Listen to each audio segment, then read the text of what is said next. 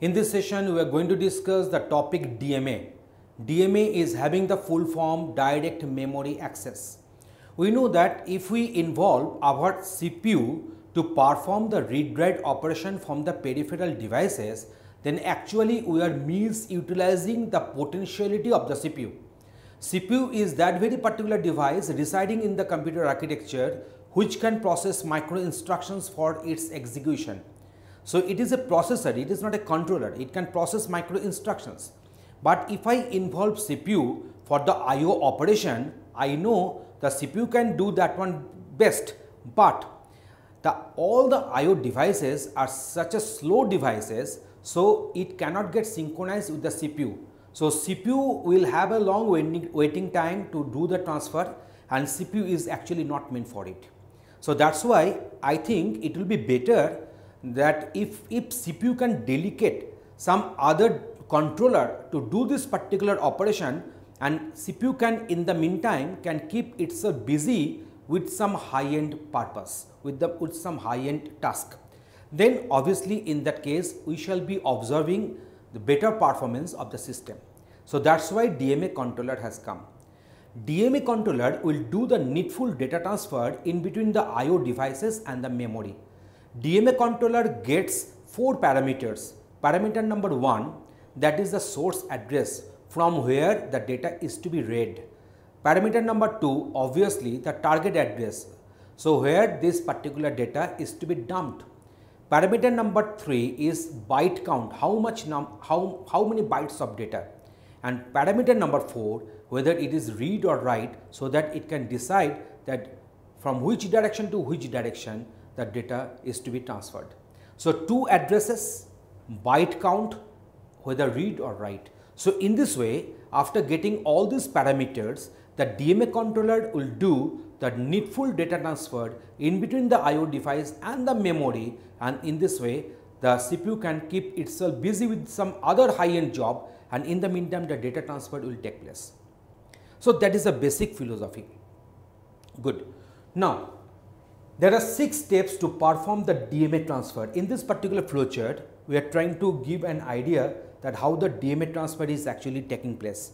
So, there are six steps. Step number one, this is the CPU, this is interacting with the cache. We are having DMA bus interrupt controller so that means it is a bus controller or the DMA interrupt controller and this is the memory and this is the buffer space. So this buffer is residing within the DMA and this is the memory location X. This is a DISC controller IDE DISC controller integrated device electronics controller and these are the disks connected. Okay, let me go for step number 1 to step number 6 in this order. Step number 1 device driver is told to transfer data, disk data to buffer at address X. So, to transfer disk data to buffer at address X. So, that means device driver has got one instruction from the CPU, please transfer some byte from some disk to the buffer space at address X. So, it has been uh, it has been conveyed to the device driver. Device driver tells disk controller to transfer C bytes from disk to the buffer at address X. So, X I have written here. So, now device controller will get the required information or required instruction in a certain format in the format in which the disk controller can understand from the device driver. So, disk controller is nothing but one hardware. So that is my step number 2. Let me come, come down here. So that is my step number 3. Disk controller initiates the DMA transfer. So disk controller will pass its uh, some parameters to the DMA controller to do the needful data transfer for him, for it. So now point number 4, this controller sends each byte to the DMA controller. So now the disk controller will send each byte to the DMA controller so disk controller is nothing but the hardware. It will send the bytes to the DMA controller directly. DMA controller, DMA controller transfers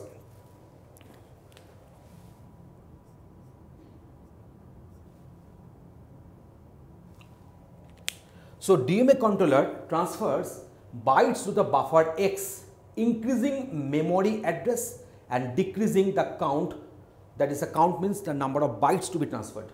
So, DMA controller transfers the data from, from the, to the respective buffer address X after getting it from the disk controller increasing the memory address. Now, it will go for the next memory location where the next byte has to be kept and also decreasing the counter because it must have a counter which is known as the word count and this word count will indicate that how many bytes it has transferred already. So, initially it will get initialized with the max count and it will now go on decreasing until it gets a value 0 until c is equal to 0. When c is equal to 0, DMA interrupts CPU to signal that the transfer of the data, required data, whatever the responsibility was assigned on it has got completed. So, now CPU can easily get the data in the memory buffer. So, in this way the DMA controller is doing the data transfer accordingly. So, what are the pros and cons of this DMA? The thing is that the main advantage of using DMA is to make the CPU free from the IO transfer. That is the main advantage. But we should go for the CPU instead of DMA, CPU transfer instead of DMA in three different cases when the device speed is fast enough. When the device is a very high speed device, it can easily be communicable with the CPU directly because there will be no such speed mismatch. In that case, you can go for the CPU. CPU has nothing to do. Now CPU is sitting idle. So now let us involve CPU in the IO transfer. Want to save money, I do not want to purchase DMA because that will increase the cost of my system. So let the CPU do the job. So in that case, obviously you can go for the CPU. So there are three causes for which you can go for the CPU data transfer instead of DMA data transfer. So in this way, how the DMA is working and what are the advantages and disadvantages when you should go for CPU, uh, CPU based uh, data transfer, not DMA based data transfer. I have discussed each and everything into the details. We will be continuing with this particular topic. Please watch our next videos. Thanks for watching this one.